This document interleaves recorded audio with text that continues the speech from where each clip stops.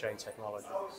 We've since built tokenization of the capital markets. We did a real life, fully fledged bond issue for a, a bank in Europe, uh, central bank in Europe, just this year, written on blockchain. So I'm very much a fan of the technology. The question is, how do you use the technology for products, products in banking? You know, tokenized capital markets is one technology, one product solution. Trade finance is another product solution, all on the same technology, but different products.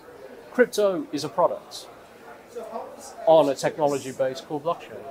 Crypto as an asset class is something that I'm more cautious on because offering that asset class to retail investors and the same way that you'd offer a share or a bond is a different risk profile. And therefore, as a financial institution, I'll go more cautiously, and I'm very, very cautious on crypto. I, I don't think that is suitable as a product for many of the clients we bank.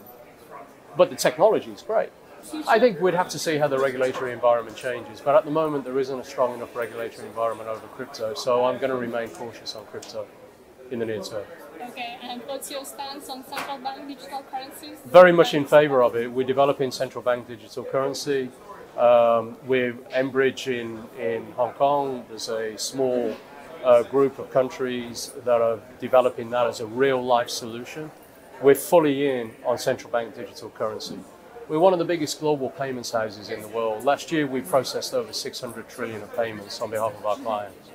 Central bank digital currency is a natural thing for HSBC to do, and it's in a regulatory environment governed by the central banks that are participating in it. So we're fully fully investing in that. Uh, any plans uh, to develop your own custody solution for digital assets like many other banks? do? Yeah, we are we are developing our own custody solution for for, for digital assets. Um, we're going again into that sensibly, cautiously, but we are going. We are looking at that as a solution.